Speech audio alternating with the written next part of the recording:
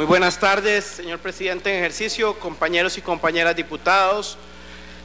compatriotas que nos escuchan a través de los diversos medios de comunicación colectiva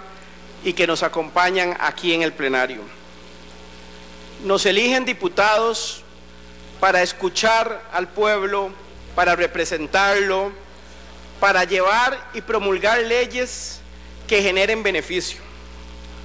Por eso hoy, después de ver días y días a los compañeros en las barras que defienden la ley, el proyecto de ley 18.298, yo quiero referirme diciéndoles que tenemos una obligación como Asamblea Legislativa. Tenemos una obligación de llegar a los acuerdos que se han venido construyendo a través de la Comisión de Ambiente con los diversos sectores productivos de este país y con los defensores de los animales que han dado una lucha histórica para que Costa Rica tenga una legislación que ampare el mal, y que castigue el maltrato que han venido sufriendo los animales en Costa Rica y ante el cual nos hemos puesto muchas veces una venda en los ojos como si nada estuviera pasando, como si no fueran seres vivos los que otros estuvieran maltratando y ante los que tenemos una gran inercia y no tenemos la capacidad de reaccionar para decirle a un pueblo que nos escogió y que nos eligió que tenemos que hacer leyes fuertes y vigorosas que los representen.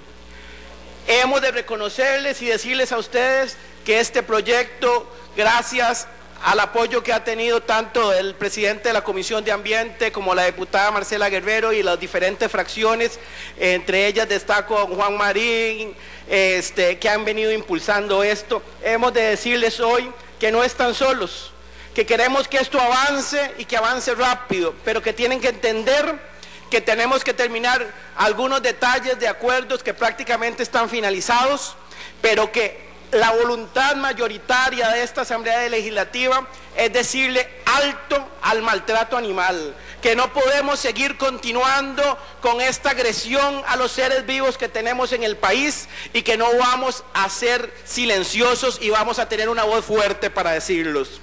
Hoy finalizo diciendo que queremos proteger seres que tienen sentimientos, que no hablan directamente, pero sienten el dolor, sienten ese sufrimiento, aunque han sido sometidos por muchos días, por muchos meses y por muchos años, sin que este país haya tenido una respuesta. Es hora de darle una respuesta y una protección verdadera a los animales en Costa Rica. Por eso estoy seguro que como Asamblea Legislativa hoy reafirmamos un compromiso de la brevedad posible de cumplir con ustedes. Muchas gracias, que Dios les bendiga.